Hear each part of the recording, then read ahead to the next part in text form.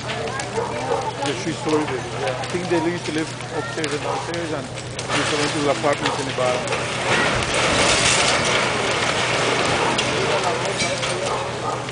Capitan?